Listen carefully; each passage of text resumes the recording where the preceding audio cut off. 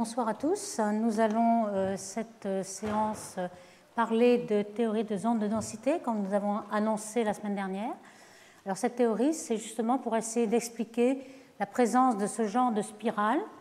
Vous voyez qu'il y a un bras spiral très cohérent d'un bout à l'autre de la, de la galaxie et qui ne s'enroule pas. Il y a toujours le problème de l'enroulement que l'on ne voit pas ici. Normalement, on devrait enrouler dans une rotation 100 fois la spirale.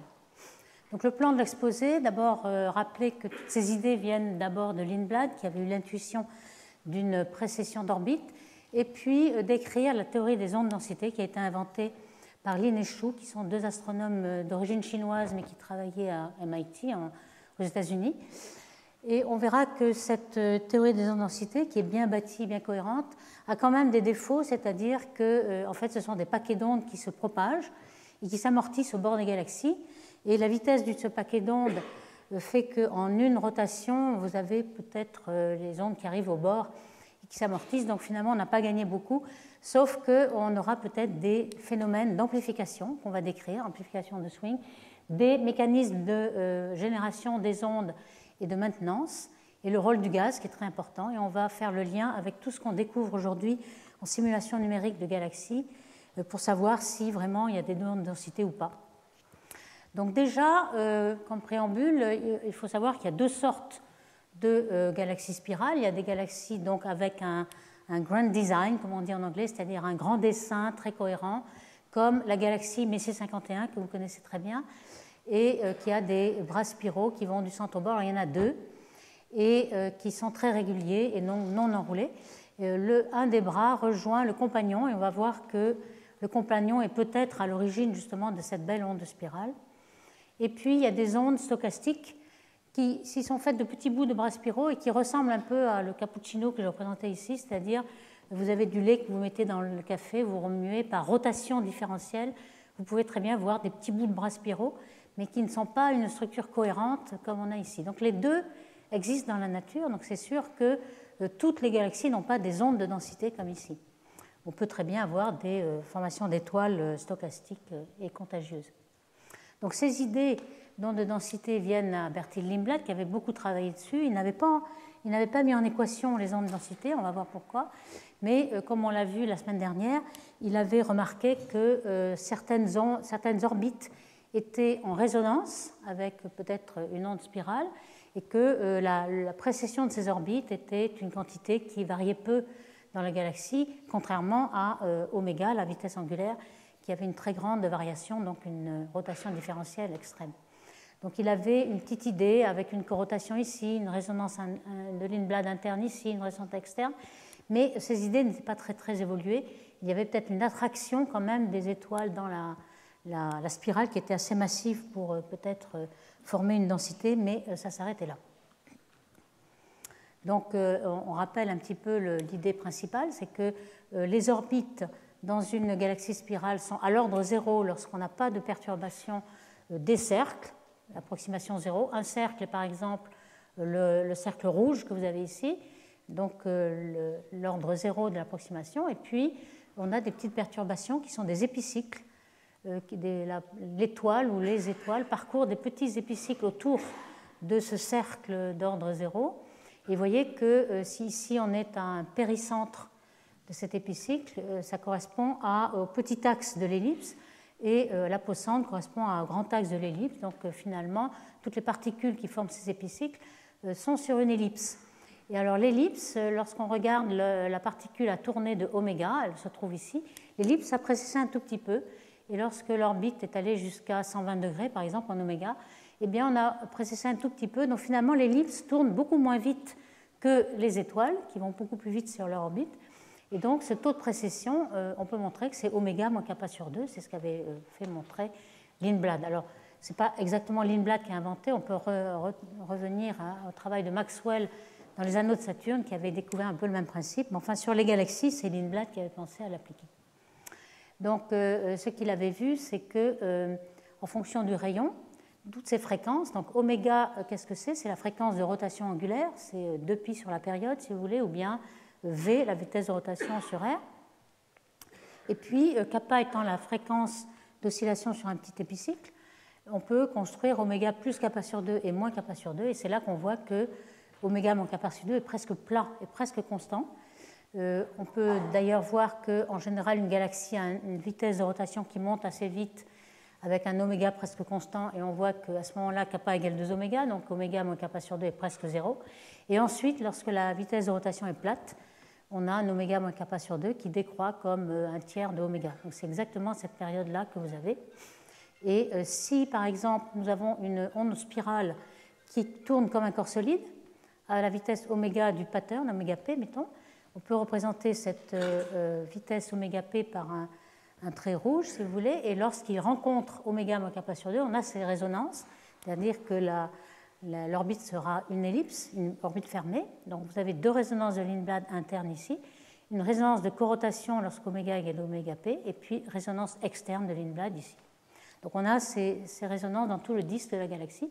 Et on avait vu que si à un moment donné, à l'instant t égale 0, toutes ces orbites euh, résonantes en forme d'ellipse sont situées sous cette forme d'orbite euh, de, spirale logarithmique, on voit que cette précision va être à peu près constante et on va garder cette spirale beaucoup plus longtemps que ce qu'aurait prédit la rotation différentielle. Donc pour la théorie des ondes densité, euh, l'idée euh, qu'avait eue euh, Lin et Shu donc, dans les années 60, c'était de faire une approximation d'ondes très très serrées. Alors, cette approximation, on l'appelle WKB du nom des, physiciens qui l'avaient inventé dans d'autres secteurs en fait. Ce n'était pas évidemment de la galaxie dont il s'agissait, peut-être des plasmas ou bien d'autres secteurs comme la mécanique quantique. On a une approximation de, de dire que la longueur d'onde est très petite. Alors ici, la longueur d'onde pour nous, pour une galaxie spirale ici, longueur d'onde, c'est euh, la distance entre deux pics. Donc lambda, ce serait la, séparation entre deux bras. vous voyez qu'ici, lambda est de l'ordre de R, donc on a une spirale assez ouverte. Et ici, on a un peu plus serré, donc le lambda est petit devant R, le rayon de la galaxie. Donc c'est ce qu'on appelle approximation d'onde serrée. Alors pourquoi est-ce intéressant? C'est que euh, lorsque vous faites le calcul d'une petite perturbation, donc dans, le, euh, l'état d'équilibre général, une particule qui est ici, on va être très peu sensible à tout ce qui euh, est perturbé de façon lointaine.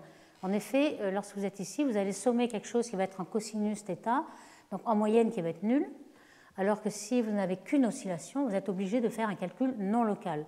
Et ça, ce calcul non local est impossible de faire analytiquement, il faut faire des simulations numériques.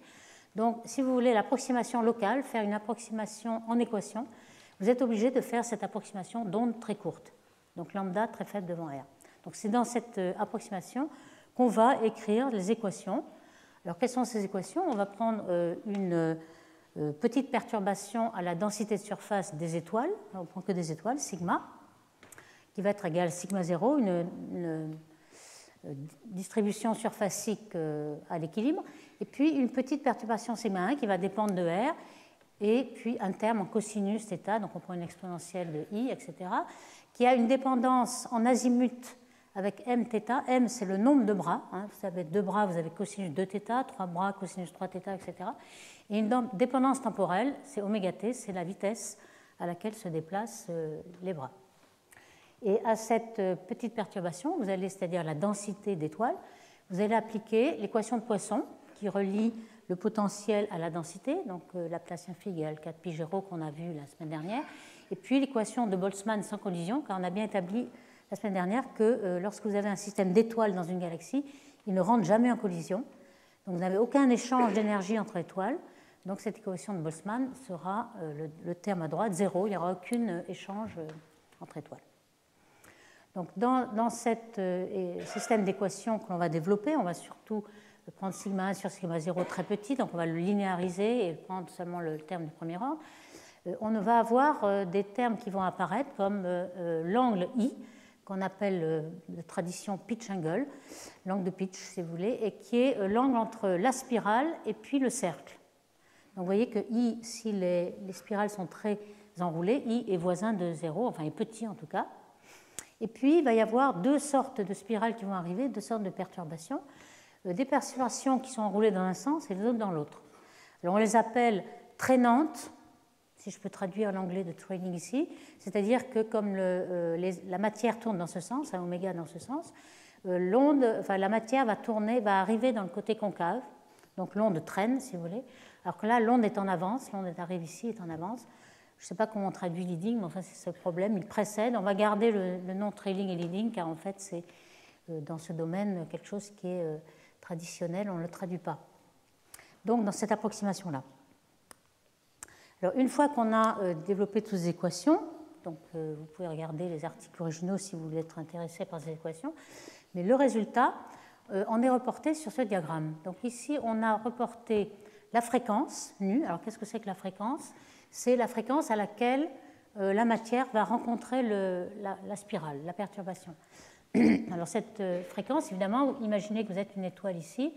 Euh, s'il y a deux bras, vous allez rencontrer deux fois. Donc c'est normal que le nombre de bras m arrive en, en, multiplicatif ici.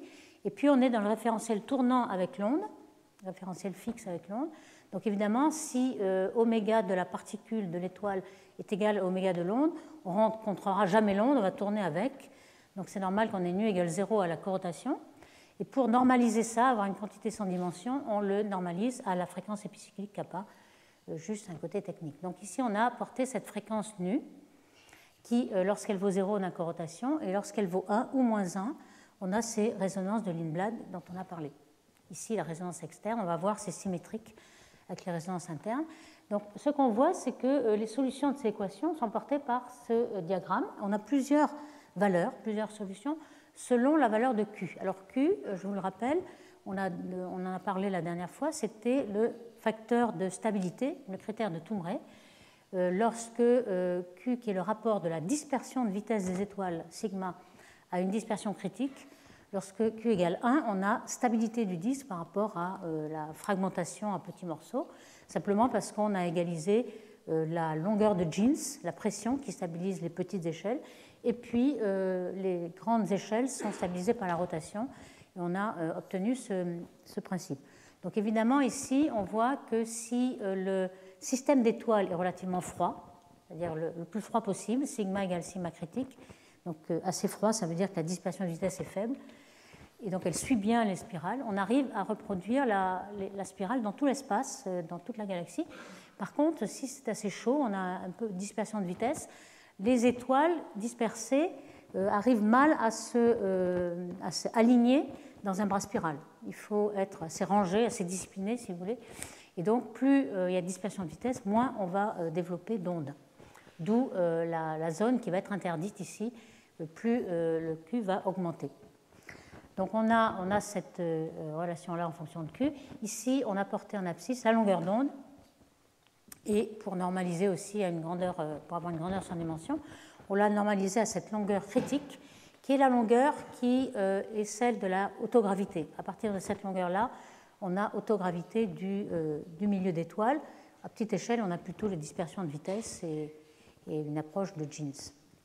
Donc cette zone interdite, là, on va voir exactement quelles sont les conséquences. Ici, je vais redévelopper la même relation. Ici, en fait, elle est symétrique. Donc pour mieux voir un peu ce qui se passe. J'ai redéveloppé la symétrie de ce, système. Vous voyez, 0 est ici, et ce qu'on a en moins 1, c'est la résonance interne de Lindblad, ILR, et puis euh, la résonance externe.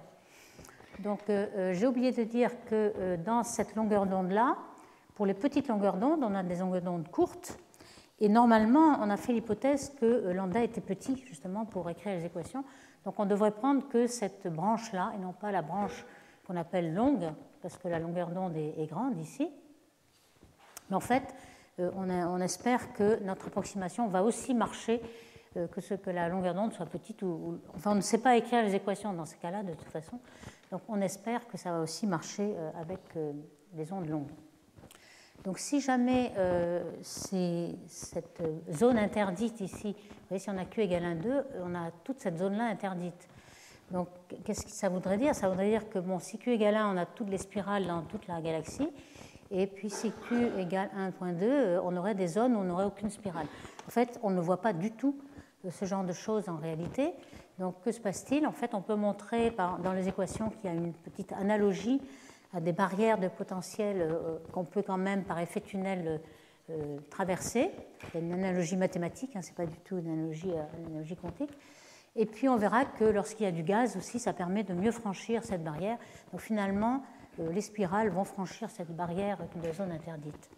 elle n'est pas complètement interdite.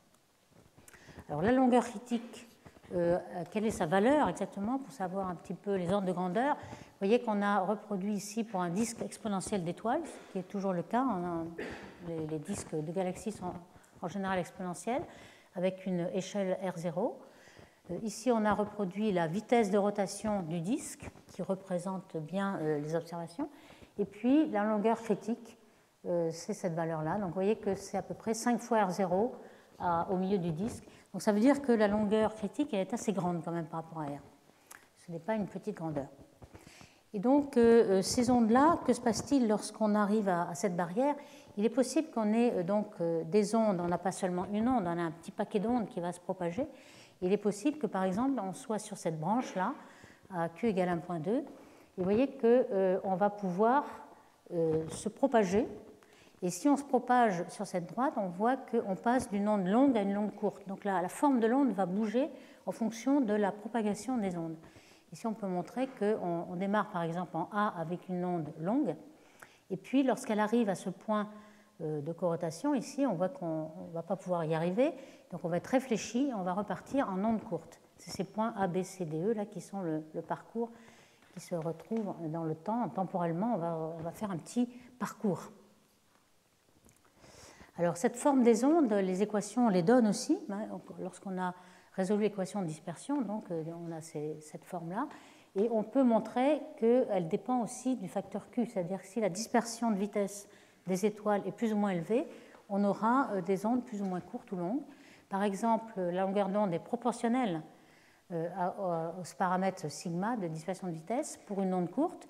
Donc si on chauffe, c'est-à-dire on sait que euh, toute perturbation, donc par exemple des ondes spirales sont des perturbations, toute perturbation va chauffer le système d'étoiles.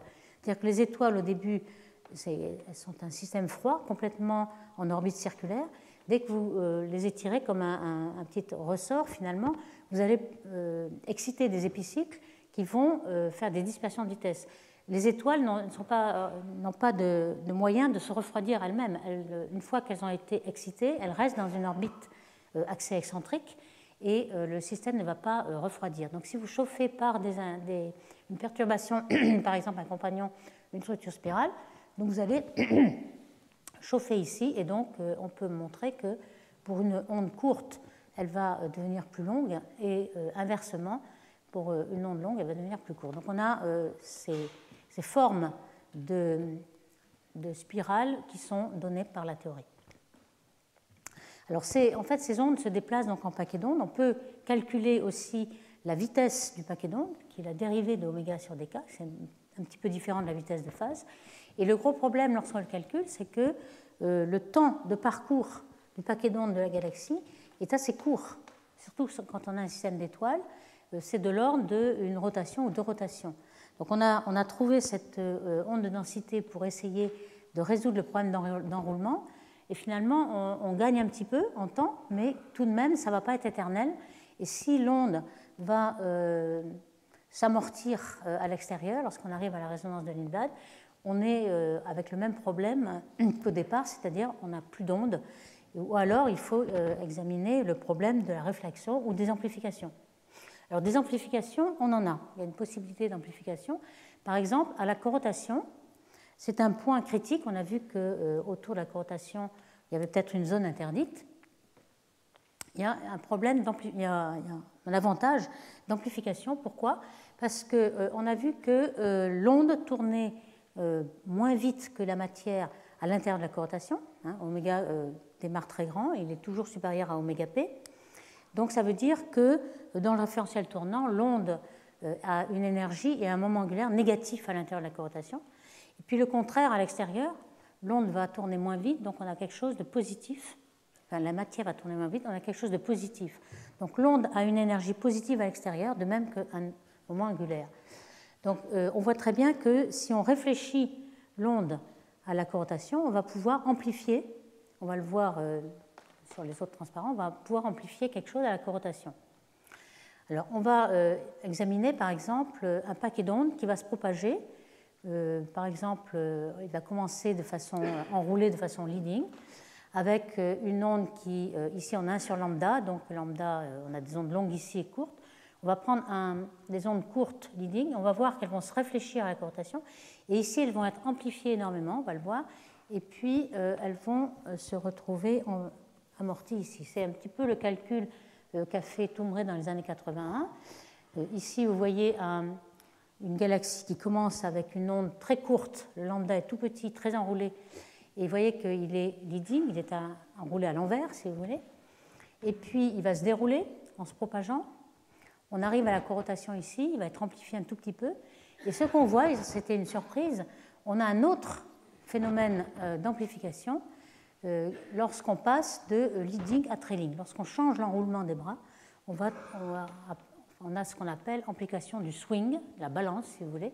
On voit qu'on amplifie énormément. Vous voyez, l'amplitude est représentée par les contours ici de densité. On a énormément de contours de densité, c'est-à-dire qu'on a une onde très forte lorsqu'on a quelque chose de long. Et puis trailing, cette fois-ci, il est vraiment dans le sens direct. Et puis peu à peu, il va se propager de l'autre côté il va redevenir long et mais très court. Et là, il va s'amortir euh, avec un aplatissement de l'endo à l'extérieur. Alors, swing, qu'est-ce que c'est hein? On a d'autres exemples de swing, si vous voulez. Vous pouvez penser à une balançoire, vous pouvez penser à une danse. Peut-être le plus proche, c'est le golf. Hein. On a un swing euh, exactement, c'est un peu ça qui se passe dans, la, structure spirale. Euh, ici, on voit un petit peu aussi de ces exemples. Alors, que se passe-t-il exactement?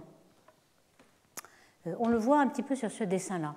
Ici, on a un petit bras, un bras spiral qui est un peu grisé. Et puis, euh, les étoiles ici sont représentées par des petites flèches, enfin le mouvement des étoiles. Donc, ici, on part avec l'onde qui est leading.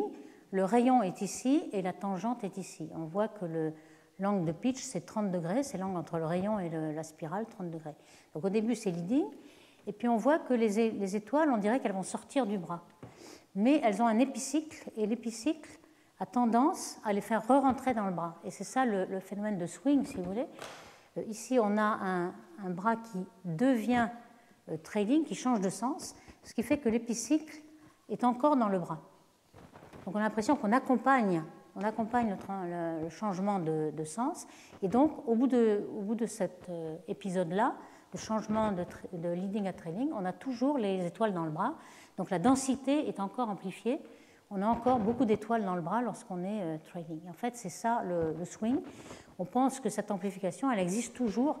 Si vous avez, par exemple, un petit compagnon dans une galaxie, localement, vous allez les exciter. Vous allez exciter ce petit bout de bras et même si on n'a pas une onde densité cohérente sur toute la, galaxie, vous allez toujours avoir cette amplification qui va rester. Donc cette euh, amplification est assez importante. Et puis, vous avez des réflexions. Par exemple, euh, on dit qu'elle va se réfléchir au centre. Euh, cette petite analogie géométrique vous montre comment on peut réfléchir une onde. Par exemple, on arrive avec une onde ABC qui est trailing, traînante, hein, puisqu'on on tourne dans ce sens. Et puis, si on suppose que la, vitesse du paquet d'ondes est la même euh, en fonction du rayon, on va passer de A en A', de B en B' et de C en C' lorsqu'on va arriver au centre. Et vous voyez que si je joins euh, A', B', C', j'ai une onde qui tourne dans l'autre sens, qui est maintenant leading. Donc on voit que euh, de ABC trailing, on va se réfléchir au centre en une onde trailing qui va repartir dans l'autre sens. Donc ça, c'est un petit exemple pour montrer comment la réflexion peut se produire. Et on a parlé de l'amortissement de Landau. En fait, c'est un amortissement qui existe dans beaucoup de, physique, hein, pas seulement euh, pour les étoiles, mais beaucoup pour les plasmas ou pour d'autres secteurs de la physique. Euh, on peut montrer que euh, dans, dans, le système d'étoiles, il n'y a pas de dissipation. Donc il n'y a pas de rayonnement, on ne perd pas d'énergie. Ce qu'on va faire, c'est un échange d'énergie entre l'onde et les, matières. Mais que va-t-il se passer? Il va se passer un déphasage en fait des étoiles. Au début, on a une onde et puis ensuite, on n'en a plus parce que toutes les, orbites ne sont, sont, plus en phase. Elles sont complètement déphasées. Leurs phases sont euh, mises au hasard, randomisées. Et on peut montrer que euh, si on a une distribution maxwellienne de vitesse, ce qui est à peu près le cas, euh, on a plus, vous voyez dans cette gaussienne, là, ici on a une vitesse de l'onde, on a toujours plus de particules qui sont plus lentes que l'onde que de particules qui sont plus rapides. Alors les plus lentes, elles vont prendre de l'énergie à l'onde pour s'accélérer, et les plus rapides vont donner à l'onde. Mais en général, on va prendre à l'onde. Donc finalement, l'onde va s'amortir par ce processus. Donc c'est ça un petit peu le principe physique de cet amortissement. Alors au point de vue euh, l'amplification, quel est le taux d'amplification de ce swing, qui est le principal taux d'amplification pour les ondes spirales? Par, L'estimation a été faite dans plusieurs cas, mais en gros on a à peu près toujours la même chose. Ici c'était un disque de Zang avec deux bras et un disque avec V égale constante où on avait le plus d'amplification. Alors ce qu'on a apporté ici, c'est le taux d'amplification en fonction de ce paramètre x qui est euh, le rapport de lambda. Alors sinus i étant le pitch angle, c'est-à-dire qu'on projette lambda sur la spirale ici et lambda sur lambda euh, critique de self-gravité du disque. Donc c'est évidemment, on a un pic à chaque fois que x est l'ordre de 2. Dès qu'on est loin de cette longueur critique de self-gravité du disque, on n'a plus du tout d'amplification. Et ce qu'on voit aussi, c'est que, évidemment, si le disque a beaucoup de dispersion de vitesse, c'est-à-dire que Q est élevé, on a beaucoup moins d'amplification parce que euh, les dispersions de vitesse empêchent aux étoiles de euh, s'aligner dans les bras spiraux. Donc évidemment, plus Q est petit, plus on aura un taux d'amplification assez élevé. Donc là, euh, tout le monde est d'accord, on peut essayer d'estimer le taux d'amplification. Et donc, Julien Netoubré ici, ce, ce travail-là, c'était la perturbation d'une densité, mettons un petit carré au centre, là, tout à fait euh, euh, théorique, mais euh, juste pour voir un petit peu la réaction d'un disque d'étoile à une surdensité ici, on voit qu'en effet, s'il y a une rotation dans ce sens et un cisaillement dans l'autre, on voit qu'on a cette amplification du swing là qui se produit et on a un, bras trailing dû à cette perturbation. Et cela, cette amplification euh, elle n'a pas besoin d'être cohérente sur tout le disque, elle est euh, petit morceau par petit morceau et on en voit un exemple ici. Alors on va suivre un petit peu ce paquet d'ondes, le but étant de, euh, savoir si par le jeu des réflexions, on, a vu que le paquet d'ondes y durait assez peu et on aimerait avoir une certaine permanence de la spirale. Donc est-ce qu'on pourrait par le biais des amplifications et des réflexions avoir peut-être une cavité et peut-être des ondes stationnaires qui durent plus longtemps? Avec, euh, qui dure au moins deux ou trois euh, réflexions au centre, etc. Alors le, problème, ça va être le suivant. Alors ici, on a vu euh, en fonction de rayons, autour de la corotation, on a une zone interdite. On a, ici, on a mis kappa, mais enfin, kappa, c'est deux pi, sur lambda, hein, donc c'est lambda crit sur lambda. ici, on a des ondes longues, ici, on a des ondes courtes, et puis on poursuit le paquet d'ondes là en fonction de son parcours, de court à long, et, etc. Et euh, le, diagramme résultant, si vous voulez, qu'il faut comprendre pourquoi euh, on a amplification à la corotation, c'est celui-là. Si on a une onde qui a une énergie négative puisqu'elle est à l'intérieur de la corotation, et que euh, dans cette barrière-là, la corotation, elle peut être transmise avec une onde qui sera donc à énergie positive puisqu'elle est à l'extérieur, à ce moment-là, par conservation d'énergie, vous voyez que l'onde réfléchie, elle a une plus 1 et moins 1, ça va faire moins 2 de manière à ce que moins 2 plus 1 fasse moins 1. L'énergie incidente égale exactement euh, ce qu'on a à la fin. Donc par conservation d'énergie, on voit qu'on a amplifié l'onde qui réfléchit. Elle a, deux fois plus d'énergie que, la précédente. vous voyez, c'est ça le, principe. Et aussi la même chose avec le moment angulaire, hein, que j'appelle MA. on sait qu'une euh, galaxie, euh, sa tendance, c'est de concentrer sa masse. Pourquoi? Parce qu'à ce moment-là, elle a une plus basse énergie, elle voudrait perdre son énergie. Et lorsqu'on a euh, un système de disques en rotation, le principal obstacle à concentrer la masse, c'est le moment angulaire. Il y a la rotation qu'il faut évacuer. Et donc, cette spirale-là, si elle est amplifiée, elle va pouvoir euh, justement évacuer ce moment angulaire et on va pouvoir euh, faire évoluer la galaxie dans le sens où elle, elle tend à évoluer, c'est-à-dire avoir une énergie et moment angulaire minimum. Alors, Marc, justement, dans les années 67, avait envisagé plusieurs scénarios euh, qu'il appelait Wazer, c'est-à-dire un petit peu des cavités résonantes, un peu comme dans un laser, où on a une émission stimulée et euh, une amplification dans une cavité. Ici, on a une émission stimulée, si vous voulez, à corotation, pour faire l'analogie. Et puis, un certain nombre de scénarios, je ne vais pas rentrer dans les détails, mais c'est un petit peu celui-ci qu'on a envisagé, une, onde longue dans le trading qui ressort ici et qui est amplifiée euh, à la corotation. Donc, le, principal amplification, taux d'amplification est obtenu dans ce système-là, justement. Le trailing, euh, long, short et short, c'est-à-dire court, court ici. Et on peut avoir même des énergies euh, plus grandes que plus 1. Ici, si vous avez plus 3 et moins 4, ça vous donne toujours moins 1, donc ça va. On a toujours conservation d'énergie. Et c'est dans ce système-là qu'il avait euh, envisagé un, scénario de cavité d'amplification, donc une onde longue qui est stimulée à cette rotation, qui sort, qui va sans doute être amortie là-bas à, la, résonance externe, mais qui est amplifiée à chaque, à chaque tour et qui va être réfléchie au centre. Donc on peut penser qu'on va maintenir un peu plus longtemps cette onde spirale par l'amplification qu'il y a, qui va compenser les, les amortissements. On peut aussi penser à des modes, en fait, des modes, c'est-à-dire des ondes stationnaires, exactement comme euh, euh, sur une corde. Vous n'avez pas que des ondes progressives, mais des ondes stationnaires. Pour avoir des ondes stationnaires, il faudrait justement qu'il y ait euh, une interférence constructive et non pas destructrice, donc qu'il y ait un multiple entier de longueur d'onde, sachant que la réflexion donne un déphasage de pi sur 2, on a cette relation-là. Et à ce moment-là, on a ce qu'on a des, maxima et des minima d'intensité dans la cavité. On a comme des nœuds et des, des, bandes, si vous voulez. Et certains ont vu dans les galaxies spirales euh, ces genres de modes, c'est-à-dire des intensités variables. Ça n'existe pas partout, hein, c'est assez rare. Alors, l'influence du gaz dans la persistance des ondes est très intéressante parce que, euh, en fait, quand on regarde les galaxies spirales, on a vu MC51, on a vu d'autres galaxies, il y a toujours du gaz. Pour l'instant, on a considéré que les étoiles. Et lorsqu'on regarde le gaz, on a en effet euh, un grand avantage. Ici, c'est un travail relativement récent de Gauche et Jog.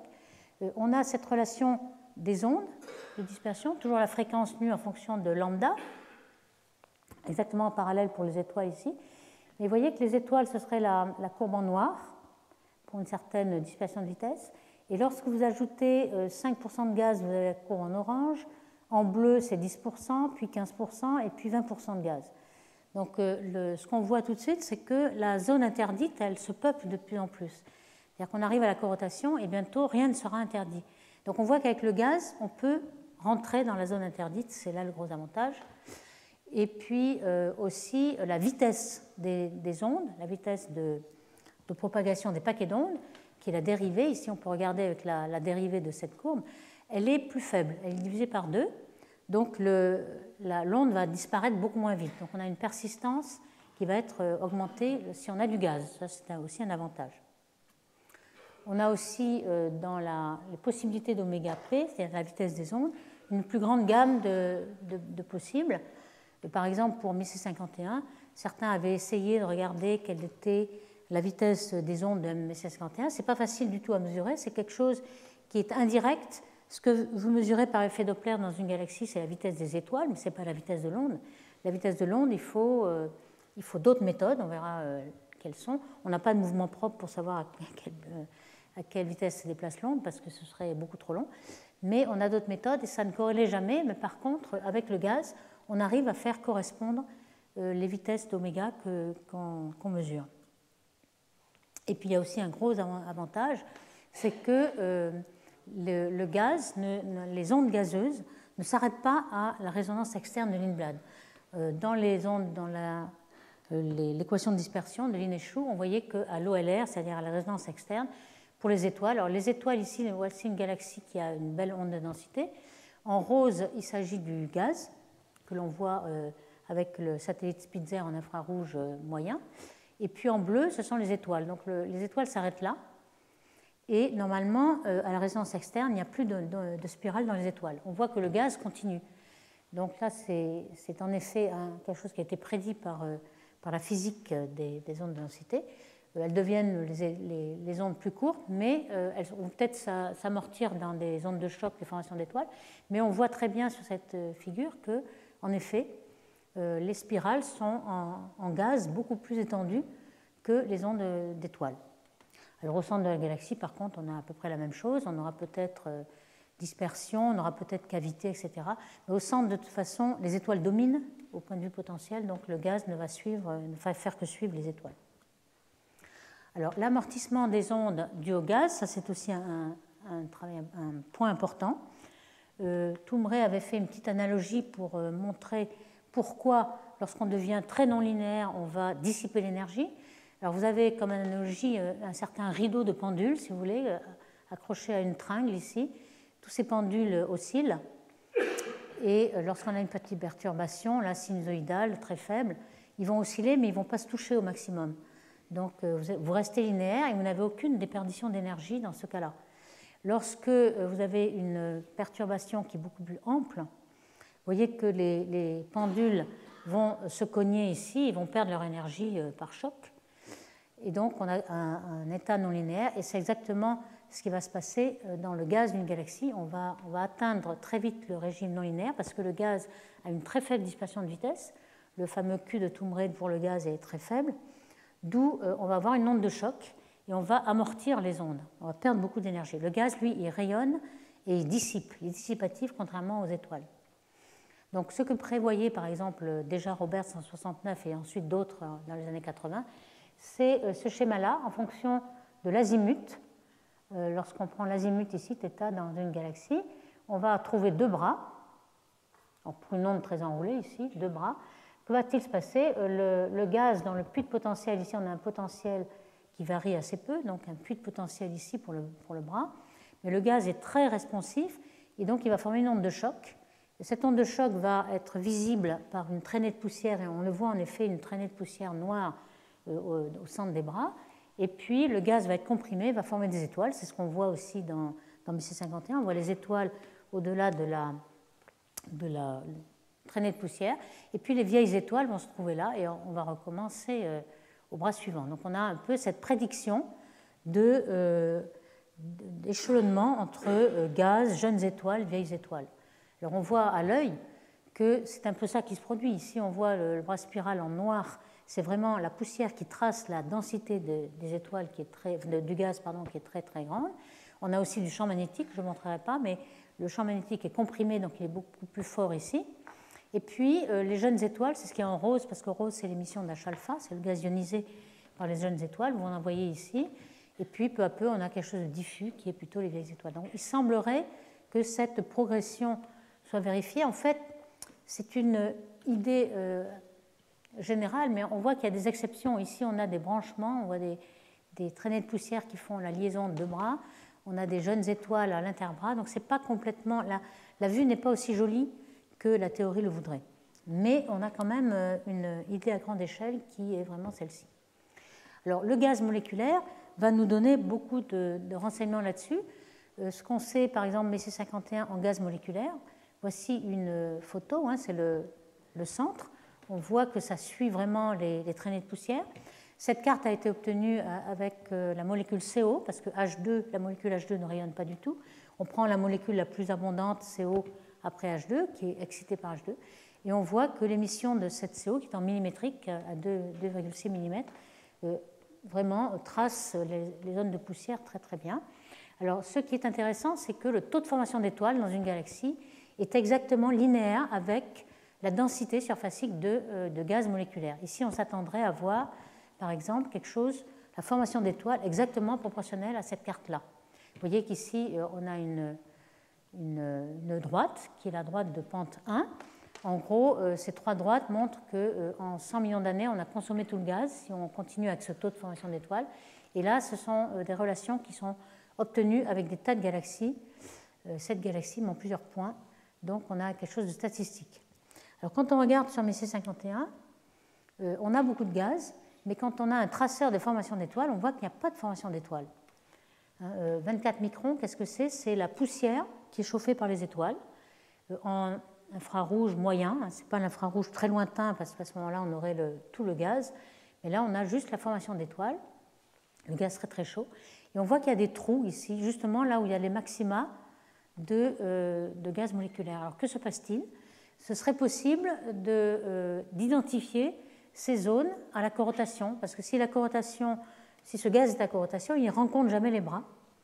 Donc on n'a aucun choc aucun choc à cet endroit. On a des chocs que, euh, avant la corotation ou après, mais pas à la corotation. Donc il est possible qu'il y ait une corotation ici.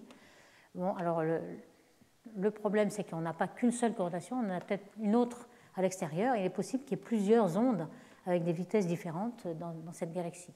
C'est ça qui complique euh, la fête, mais là, on a clairement euh, un endroit où il y a énormément de gaz, mais sans formation d'étoiles. Donc là, vraiment, pas de choc. Alors cette relation entre choc gaz moléculaire et la comparaison avec les, avec les données peut s'obtenir aussi par les simulations numériques. Ici, on a une simulation de Dobbs euh, d'autres en ont fait aussi, de euh, une galaxie euh, spirale où on a imposé une spirale à ondes serrées. Vous voyez, la longueur d'onde ici, lambda, est petite, très enroulée, petite par rapport au rayon. Et on regarde ce que fait le gaz d'hydrogène moléculaire dans cette galaxie en prenant en compte la seule gravité du gaz, les formations d'étoiles. Et ce qu'on voit, c'est que ce n'est pas si simple que ça. C'est-à-dire qu'on n'a pas seulement un choc, on a une instabilité, peut-être une instabilité de Rayleigh Taylor aussi, euh, peut-être de Kelvin Helmholtz, du cisaillement. Et on a des tas de branchements qui se produisent. On a aussi de la formation d'étoiles qui va se produire à l'interbras. Donc ce n'est pas aussi simple que euh, la vision très simple des années 70 où on avait euh, un choc, formation d'étoiles et puis des vieilles étoiles. On a des jeunes étoiles qui sont prédites un peu partout. Et c'est ça la réalité en fait. La réalité plus compliquée que la théorie. Alors pour engendrer ces ondes, par exemple BC51, on a vu que c'était euh, un des exemples d'ondes les plus régulières. Euh, on pense que, euh, compte tenu de tout l'amortissement que l'on a étudié, l'amortissement du gaz dans les ondes de choc, l'amortissement du l'amortissement de Landau, etc., il nous faut trouver quelque chose qui maintienne ces ondes en permanence.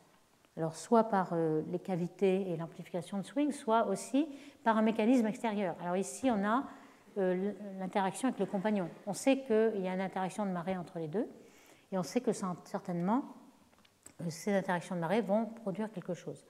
Il y a aussi un autre phénomène dont je n'ai pas encore parlé, mais qui, est aussi quelque chose qui va amortir les ondes c'est le fait qu'on euh, peut avoir des ondes longues. En général, on a des ondes plutôt longues que courtes. Hein. Quand on voit Messi 51, c'est pas vraiment très serré. On n'a que lambda qui est de l'ordre de R. Et quand on a des ondes longues, on a un effet à grande échelle, non local. Euh, le puits de potentiel de la matière n'est pas exactement identique à la position de la matière. Ici, on a une simulation où le, le puits de potentiel est tracé par la ligne euh, fine, et puis la densité des étoiles par les plus ici on voit qu'il y a un déphasage et que ce déphasage, il est plutôt, euh, la matière est en avance euh, à l'intérieur de la corrotation et puis en retard à l'extérieur. À quoi est dû ce déphasage En fait, dans ce sens-là, on voit très bien que euh, les étoiles sont sensibles aussi à la perturbation externe. Elles sont à égalité en fait de distance à la perturbation interne et externe. Et donc, il y a la non-localité due au fait que l'onde n'est pas très très serrée qui fait qu'on n'a pas de, on n'a pas de, phase. Pour le gaz aussi, on a euh, quelque chose qui n'est pas en phase, et euh, à l'intérieur de la corrotation, on est en avance, et à l'extérieur, en retard. Donc finalement, euh, on a un échange de moments angulaires entre les deux. La matière va être soit attirée, soit repoussée selon la distance par rapport à la corrotation, et on va amortir l'onde par cet effet. Donc on a aussi des moyens d'amortir l'onde. Donc pour essayer de tester si l'interaction de marée peut être un, pourvoyeur d'ondes de, densité. En effet, euh, avait fait ce calcul euh, qui montre, alors dans le cas où il n'y a pas d'autogravitation, il avait déjà montré dans les années 70 que même avec des particules test, c'est-à-dire sans prendre la gravité, la seule gravité des étoiles, on peut former deux bras spiraux par les interactions de marée. On va le voir euh, tout à fait que euh, les, les interactions de marée ont une géométrie d'ordre 2. Par exemple, sur Terre, vous avez les marées de la Lune, vous avez deux marées par 24 heures, tout simplement par le même effet. On va, le voir tout de suite. Et puis, euh, lorsque, euh, là, il avait pris une perturbation de 4%, compagnon qui faisait une force de marée 4% fois la force à l'équilibre, et, on n'avait pas beaucoup de, de, perturbations. Quand on prend en compte la, la seule gravité, vous voyez que 1% ou 2% suffisent pour qu'on ait une très très forte réponse en nombre de densité de, de 51, par exemple, dans le cas d'une interaction. Alors ça, c'était un mystère euh, parce que euh, la, force de la spirale, elle est encore plus grande au centre qu'au bord. Pourtant, l'interaction de marée, elle vient du bord, puisque le compagnon est au bord. Donc ce, puzzle, en fait, a été résolu, c'est qu'il y a un paquet d'ondes qui se propage vers le centre et qui s'amplifie beaucoup plus au centre qu'au bord par l'effet de swing dont on a parlé. Donc on peut avoir instantanément plus de spirales, plus d'ondes spirales au centre qu'au bord, alors que la perturbation vient du bord, ce qui est un petit peu paradoxal.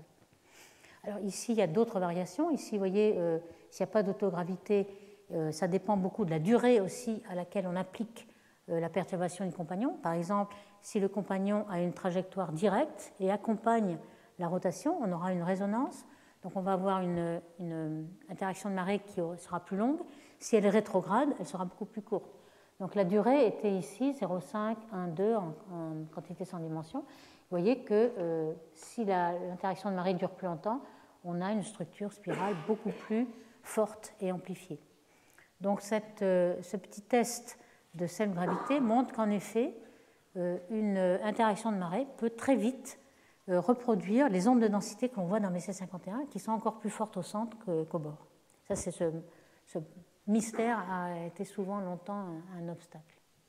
Alors, pour euh, quantifier un petit peu ce problème d'interaction de, marée, voici un petit peu le, petit dessin qu'on peut se faire. Hein. On a un compagnon qui est vers la droite, et ça, c'est le disque cible de MC51, par exemple. ce qu'on a, c'est qu'on a une force d'attraction qui est plus forte d'un côté que de l'autre, puisque le compagnon est de ce côté, et que euh, si vous retirez, si vous mettez dans le référentiel tournant euh, avec le compagnon autour, euh, évidemment, la force d'inertie ici, dans ce référentiel, va compenser exactement la force d'attraction au centre. Donc ici, vous aurez zéro. Et si vous soustrayez cette force d'inertie en tout point, vous voyez que vous avez un excès de force ici et un défaut ici.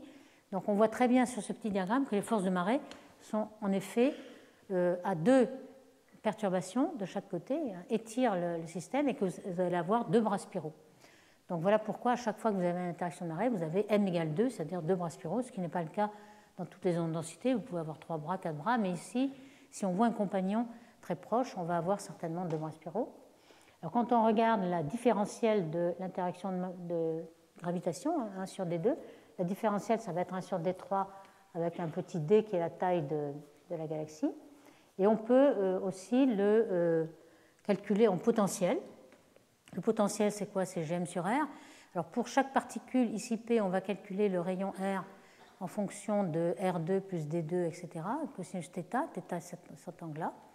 Et si euh, on veut, dans le référentiel du, de la galaxie, c'est-à-dire qu'on soustrait la force d'inertie, cette force d'inertie, c'est quoi? C'est Gm sur D2, avec un petit vecteur unitaire ici. Et cette force, elle dérive du potentiel qui est Gm x Vous dérivez x, vous avez juste le, vecteur unitaire. Donc x, c'est quoi C'est r cosinus θ. Donc on voit que euh, lorsqu'on somme ces deux potentiels pour être dans le référentiel repos, le terme en cosinus θ, si je, si je linéarise, parce que r est tout petit devant d, on va avoir ce terme cosinus θ qui va s'annuler avec celui-ci et euh, trouver seulement le terme d'ordre supérieur en cosinus de θ. Donc on a ce phénomène de marée qui dépend de deux bras en cosinus de θ, qui est équivalent à une barre, par exemple, qui a un, potentiel en cosinus de θ. Alors ça, c'est valable dans le plan de la galaxie. Si on a une interaction de marée dans le perpendiculaire au plan de la galaxie, on voit que le terme en cosinus θ ne s'annule pas. Donc euh, dans la direction perpendiculaire, on va avoir un terme m égale 1 cosinus θ, c'est-à-dire une espèce de gauchissement en crêpe du plan ou un warp, comme on voit ici, c'est-à-dire un plus et un moins, c'est tout. On n'a pas, euh, une géométrie m égale 2, mais une géométrie m égale 1 pour euh, la perturbation du plan due à un compagnon, par exemple. Donc euh, maintenant, je vais m'intéresser aux, simulations numériques plus récentes qui essaient de voir si vraiment on a des ondes de densité qui correspondent à la théorie lorsqu'on a des interactions de marée. Alors ici encore des calculs pris sur euh, Dobbs euh, et collaborateurs qui essaient de représenter MSC 51 et voir si on obtient bien la théorie des ondes de densité. Alors ici, vous voyez que dans la simulation, on obtient un petit peu un bras qui va un peu du centre-bord, donc on semble avoir quelque chose qui n'est pas trop stochastique. Par contre, quand on mesure, on essaie de mesurer oméga, la vitesse de rotation de ces ondes. Alors là, on a tout, on a les mouvements propres, puisqu'on a un petit film même qui vous montre euh, comment se propagent ces, bras. Eh bien, euh, il n'est pas constant. Il n'est pas constant, il est même un peu supérieur au taux de précession oméga kappa sur 2, qu'on avait pensé être euh, justement la vitesse des ondes. Donc ça ne correspond pas tout à fait. On a quelque chose qui, pour le gaz et pour les étoiles, vous voyez les deux valeurs, c'est quelque chose qui varie en fonction des rayons. Donc ce n'est pas tout à fait l'équilibre. On a quelque chose un petit peu qui pourrait être sur une portion de bras, comme une onde de densité, mais c'est tout. Ça, c'est perturbant. Et euh, les tests aussi expérimentaux euh, d'échelonnement des gaz, du gaz dense, des étoiles jeunes, des étoiles vieilles, etc., n'est pas tout à fait reproduit non plus dans les simulations. Ici, on avait quatre simulations. Une qui est une spirale fixe qui a été forcée dans une galaxie, donc une spirale très enroulée. On voit en bleu les étoiles jeunes, on voit en bleu, c'est le, gaz, je pense, les verts, les étoiles jeunes et rouge, les étoiles anciennes. Là, on a une succession de ces trois âges qui est tout à fait euh, régulière, c'est tout à fait ce qu'on s'attend. Pour une barre aussi, si on a une galaxie barrée, la barre se déplace à une fréquence presque solide, presque constante, qui représente bien une onde densité. Donc on a bien euh, vert, bleu, rouge, c'est à peu près bon. Euh, pour une spirale floculante, ça, on s'attend bien à ce qu'il n'y ait aucun ordre, donc c'est tout à fait au hasard. Et par contre, pour euh, 51 euh, ou son modèle dans, par ordinateur, euh, c'est assez euh, chaotique. On n'a pas vraiment une, un ordre parfait entre le bleu, le vert le rouge. On a quelque chose qui ne correspond pas complètement à l'onde densité. Donc ça, c'est assez... ce n'est pas parfait. Alors voici les quatre simulations en question. Hein, sans les couleurs de, des âges des composants. On voit la spirale forcée, la barre, la spirale floculante et puis euh, BC51.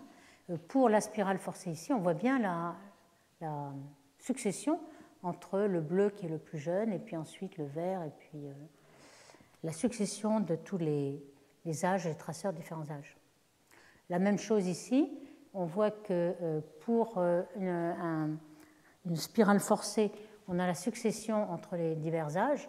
Par contre, pour la galaxie avec interaction de marée, censé reproduire Messier 51, on a peut-être des ondes spirales de vitesse différentes, mais on n'a pas une seule onde de densité.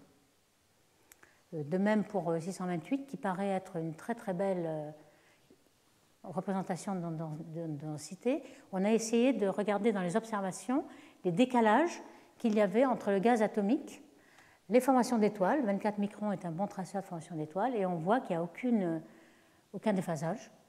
Euh, entre le gaz moléculaire et la formation d'étoiles non plus. Et quand on regarde un peu ces déphasages, euh, ils sont tout petits et toujours inférieurs à la résolution des observations. Alors peut-être qu'on n'a pas assez de résolution, mais enfin tout de même, c'est tout petit en degrés. Donc il ne semble pas avoir de décalage. Donc il y a quand même euh, une réalité qui est quand même assez différente de, la théorie. Ici, on verra dans une simulation avec une très haute résolution angulaire de Florent Renaud et al., qui fera une séminaire la semaine prochaine, euh, pourquoi les instabilités du gaz peuvent peut-être expliquer une grande partie de ce, phénomène. Ici, vous voyez euh, une simulation de galaxies barrées avec des bras spiraux, et on voit que le gaz est très très instable, et il y a des instabilités de, de Rayleigh-Taylor. Ici, quand on fait un zoom, on voit toutes ces perturbations, ces euh, extensions d'un bras à l'autre. Ici, quand on fait un zoom, on voit ce qui se passe. Ici, il y a une instabilité de Kelvin-Helmholtz qui est entre deux fluides qui ont un certain cisaillement. Alors normalement, on devrait voir toutes les étoiles se former dans le bras, mais euh, le gaz euh, se, se, disperse en plusieurs euh, alignements ici, qui sont des extensions, et finalement, les étoiles se forment en dehors. Donc on peut former des étoiles en dehors des bras spiraux. Donc voilà une raison pour laquelle on ne trouve pas exactement ce qu'on attendait avec l'onde de densité, ici les vitesses qui correspondent. Donc finalement, c'est peut-être pas complètement, ce n'est pas un problème, un mystère que le gaz ne représente pas les ondes de densité correctement. Pourtant, c'est les ondes de densité qui l'ont excité euh, à former ces, structures. Ici, on voit un bras, un zoom d'un bras, où on voit ces simulations sont très sophistiquées, non seulement en forme des étoiles, mais aussi en forme des supernovae qui soufflent le gaz. Alors, je ne sais pas si vous le voyez, mais le gaz, euh, en arrière, il est soufflé, et on voit des cônes comme ça qui ont soufflé le gaz. Donc, finalement, le gaz euh, est soufflé d'un côté et euh, les, étoiles se forment de l'autre et reculent en quelque sorte. Donc on a des tas de mouvements qui sont dus à la formation de l'étoile, au feedback, et qui contribuent à la complexité des bras et qui contribuent au fait que dans les observations, finalement, on ne voit plus la, la, succession de tous les événements qu'on pensait. Alors quand on simule les spirales floculantes, euh, de façon voulue. On voit même des petits bouts de bras qui, ont une amplification de swing. Donc même dans le cas où on veut absolument avoir quelque chose de complètement stochastique, on voit que ces petits bouts de bras euh, sont amplifiés aussi. Donc c'est ce qu'on avait vu euh, au tout début. Le, swing marche aussi pour les petits morceaux.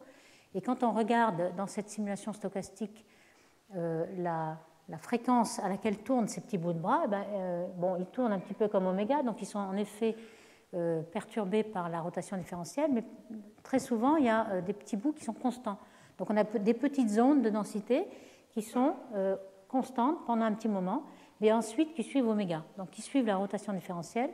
Donc il y a un tout petit peu d'onde de densité et de stochasticité. Donc on ne peut jamais avoir les deux cas extrêmes, on a toujours un mélange.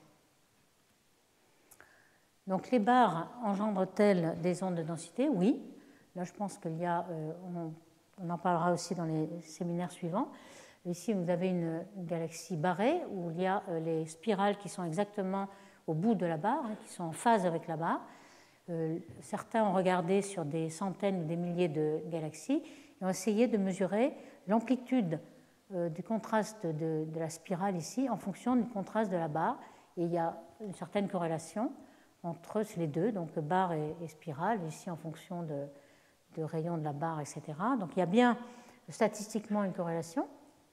Et puis, en effet, euh, il y a tellement de galaxies, il y a peut-être 200 000 galaxies, que euh, ça a été euh, donné aussi à, classifier et à, étudier par tous les citoyens qui aimeraient bien trouver des galaxies sur Internet. Hein. vous pouvez cliquer et regarder le Galaxy Zoo. Et ces, citoyens ont montré qu'il y avait des corrélations en, fonction, par exemple, le nombre de bras en fonction de la masse de la barre ou le nombre de bras en fonction de la masse du disque. Ce qu'on voit en fait, ce qui compte, c'est la masse du disque ici. Le pitch angle n'a pas l'air de varier beaucoup. Par contre, en fonction de la barre, on a montré, euh, en fonction de l'angle de pitch ici, c'est-à-dire l'angle entre le cercle et la spirale, qu'il y avait une certaine corrélation. Donc ça, c'est intéressant parce que euh, ce sont des statistiques qu'on obtient avec des centaines de milliers de galaxies et ce Galaxy Zoo permet d'obtenir ça. Euh, en fonction euh, de, la couleur aussi. Hein, on a vu que euh, dans la spirale, on avait un certain décalage entre le gaz, la poussière, les jeunes étoiles en bleu, les vieilles étoiles. Donc la couleur va nous donner cet échange. Et ce qui a été observé, c'est qu'il y a en effet des ondes d'un bout à l'autre de la galaxie. Et puis pour certaines jeunes étoiles, on a des, angles de pitch différents. Donc on voit bien qu'il y a peut-être plusieurs ondes qui sont superposées dans la galaxie et c'est intéressant de, voir que peut-être la, superposition des ondes nous empêche de voir un seul pattern d'onde de densité. Alors, y a-t-il des ondes de densité ou pas? Euh, Là, c'est encore euh, une statistique sur la position des traceurs H-alpha, UV. Alors, H-alpha trace les jeunes étoiles jusqu'à 10 millions d'années et l'UV trace des jeunes étoiles jusqu'à 100 millions d'années. Donc, vous avez plusieurs âges ici et en fait, vous ne voyez aucun décalage. Donc, c'est ça le problème. Y a-t-il des ondes de densité? Et euh, si on veut mesurer oméga, alors il y a plusieurs méthodes, j'en parlerai peut-être une autre fois. Treman et Weidberg ont proposé une méthode pour calculer oméga en supposant qu'il y avait une continuité sur une orbite et ont montré que oméga n'était pas tout à fait constant, même dans une galaxie fortement barrée. Donc ça, c'est assez intéressant. Il y a aussi le cas de Messier 81 qui est une onde de densité type. Si on la déprojette, ça vous donne ça, avec le compagnon qui est ici. Et il semble qu'il y ait plutôt deux ondes de densité dans cette euh, deux ondes avec deux oméga différents et pas une seule. Donc ça, c'est encore quelque chose, un, tabou qui tombe ici. Donc je résume. Euh, la théorie des ondes de densité qu'on a euh, présentée aujourd'hui, ça explique quand même bien la formation des spirales qui durent plus, qui sont cohérentes et qui ne sont pas enroulées. Mais le paquet d'ondes se déplace relativement vite et les ondes s'amortissent. Donc finalement, on n'a fait que reculer notre problème de durée. Donc il faut des mécanismes d'amplification qui sont par exemple les compagnons, comme ici vous avez un exemple d'onde de, densité qui est excitée par le compagnon, ou bien alors des barres, dont on parlera euh, plus tard. Mais euh, les ondes de densité cohérentes, c'est quand même assez rare. Il y en a plutôt des petits morceaux. Et quand on regarde la réalité, elle est beaucoup plus complexe que la théorie. Donc je vous remercie.